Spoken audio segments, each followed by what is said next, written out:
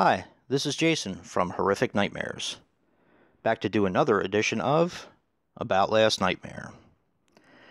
Now, this is a segment I do with my very good friend Nick, the Last Shoegazer, where we watch a movie from our collection, separate but together, messaging back and forth. Sometimes cracking jokes, sometimes giving fun little facts, but overall just being goofy. It's a really fun way to watch a movie with someone that you can't be with in person. Now we do a two part review. I do part one, of course, which is the facts and figures. Nick takes care of part two, which is a synopsis, our take, and rating on the film. Now, last night we watched Absurd. Now, Absurd is a 1981 film which runs approximately 94 minutes for the US cut, um, 88 minutes for the Italian cut. Uh, now, I have the Severin edition of this film. Uh, Nick will be showing the 88 Films edition. Uh, both editions do have both cuts, but we watched the 94 minute US version which I believe is the only one I've seen. Now, Absurd is directed by Joe D'Amato, who unfortunately passed away on January 23rd of 1999, at the age of 62.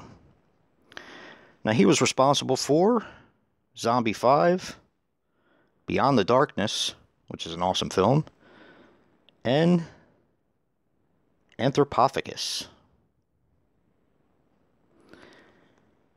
Now, this stars George Eastman. Well, he also did a lot of porn, too. he had 197 credits, and most of those were uh, porn films. Now, this stars George Eastman as Mikos Stenopoulos. He also wrote the film, which I didn't know up until last night. I thought that was pretty interesting. Now, he was in Metamorphosis, Delirium, and he had a bit part in Stage Fright, which was uncredited, where he played one of the guys in the masks. This also stars Annie Belle as Emily, the the nurse to their daughter. Nick will tell you more about that. Now, the only other thing I could find on her was she was in House on the Edge of the Park, and she also did a lot of porn. And finally, Charles Borromel as Sergeant Ben Engelman.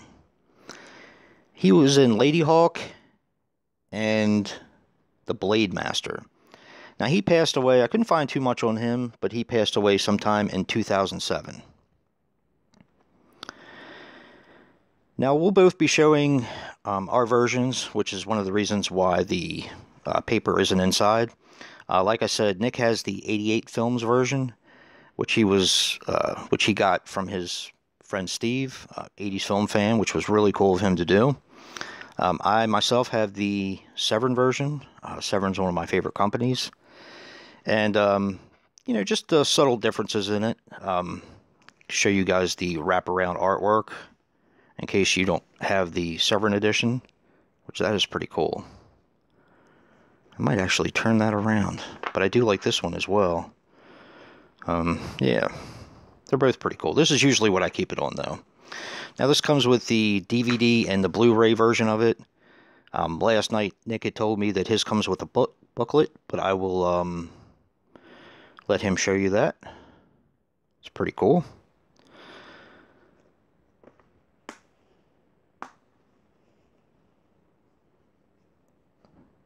Now, both transfers, I was actually kind of curious about the um, overall transfer on both of the films since my last experience with 88 Films wasn't that great with uh, Splatter University. But um, he said his uh, cut of the film was actually, you know, the transfer was really good. They're both um, from a 2K um, scan from the original negative and gushing with all new special features. And I believe we compared, and I think that they have all the same special features, if I'm not mistaken. Now, this goes by several different names. It goes by Anthropophagus 2. Of course, Absurd, Horrible, and Rosso Sangue. And also, there's a title on this other one, too. Um, if I can get it. Malediction Satanica? Who knows? Uh, this is a fun film. This is a favorite of mine. It is a direct Halloween ripoff. And a few interesting things about the film. The actors that played the bikers rode their own motorcycles. I thought that was pretty interesting. And the film was one of the original UK video nasties and was banned by the BBFC in 1984. It was released uncut on Blu ray by the UK in 2017. So that was pretty cool. That's, this is actually one of the very first um, video nasties, of course, being in alphabetical order. And uh, this is actually a favorite of mine. I'm glad to be able to share it with my friend Nick, who actually also enjoyed the film as well. You'll have to watch him to get our rating on the film. But um, yeah, definitely a fun hour and a half. So check out Nick, Last Shoegazer, for About Last Nightmare Part 2. And if you like what you see in here, hit that like button and subscribe. And until next time, peace.